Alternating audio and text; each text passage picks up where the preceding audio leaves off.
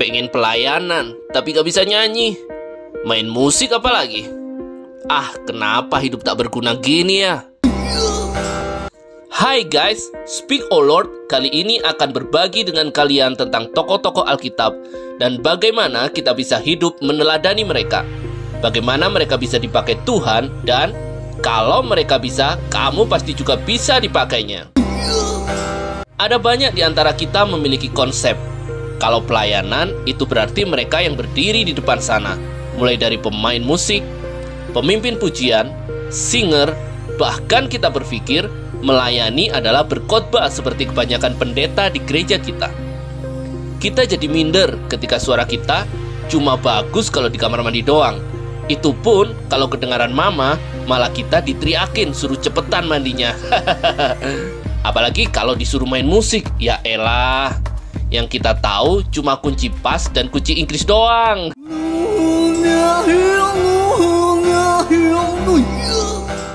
Kalau lihat lagi diri kita sendiri, sepertinya gak ada peluang buat kita melayani Tuhan. Jangan-jangan kita bukan hanya seperti hamba yang diberi satu talenta. Bahkan kita kadang mikir, kenapa Tuhan sama sekali gak ngasih talenta ya? Keren kali ya kalau kita bisa seperti Daud, jago main kecapi, jago ngalahin Goliat, jadi raja pula gantiin Saul. Eh, tunggu dulu. Emang iya hidup Daud semulus itu? Yuk coba kita lihat sama-sama. Sepenggal kisah Daud yang tertulis dalam 1 Samuel pasal 16 dan 17, di sana dikisahkan bahwa Allah telah menolak pemerintahan Saul dan meminta Samuel untuk mengurapi salah satu anak Isai menjadi pengganti Saul. Uniknya, Allah tidak langsung menyebut nama Daud kepada Samuel. Dan justru di sinilah kita melihat siapa Daud sesungguhnya. Sesampainya Samuel bertemu Isai, berkatalah dia bahwa dia membawa kabar baik dan akan mengurapi anak Isai sebagai raja. Eliab, anak Isai yang pertama kali memikat hati Samuel karena perawakannya yang tinggi dan parasnya yang menawan. Tapi ternyata bukan dia yang Allah pilih dan Allah berkata, Bukan yang dilihat manusia yang dilihat Allah. Manusia melihat apa yang di depan mata, tetapi Allah melihat hati. Jelaslah di sini bahwa Allah memilih anak Isai berdasarkan hati dan bukan perawakannya. Hal ini terjadi sampai ketujuh anak Isai diperhadapkan kepada Samuel.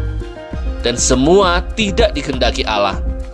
Ternyata ada satu anak yang tertinggal, atau kalau boleh kita katakan, dia terlupakan dan tidak masuk hitungan.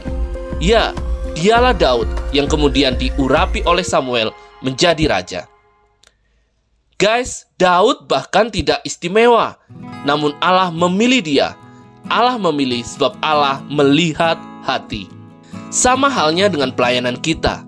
Pelayanan bukan tentang kecakapan, pertama-tama pelayanan tentang hati.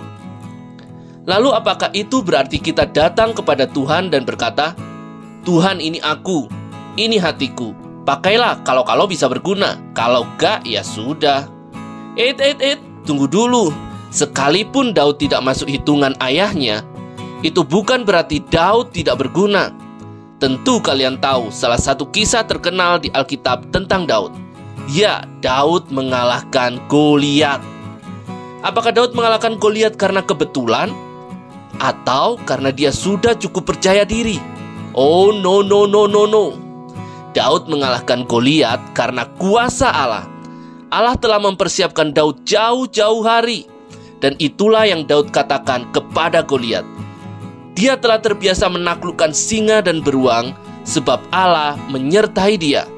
Daud berkata, Tuhan yang telah melepaskan aku dari cakar singa dan dari cakar beruang. Dia juga akan melepaskan aku dari tangan orang Filistin itu.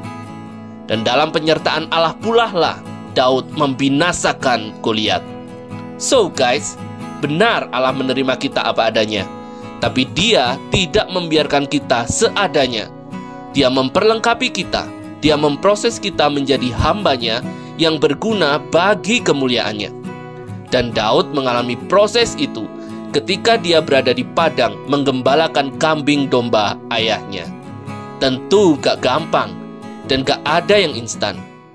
Pertanyaannya, maukah kamu masuk dalam proses yang Allah kerjakan bagi hidupmu? Allah tidak pernah menciptakan kamu dengan sia-sia. Dia punya tujuan bagi hidupmu.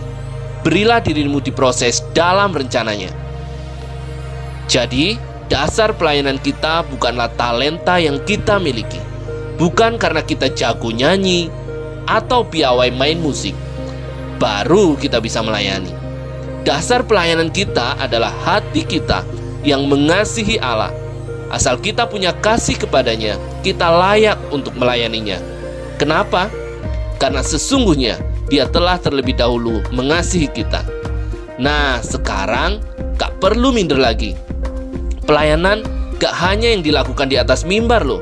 Berilah dirimu diproses untuk mampu melihat hal-hal yang mungkin dianggap orang sebagai sesuatu yang sederhana, tapi kamu bisa melayani Allah melalui itu.